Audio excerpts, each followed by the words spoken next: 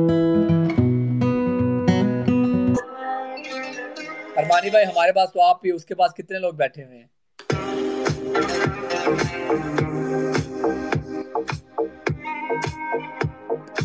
Thank you Armani.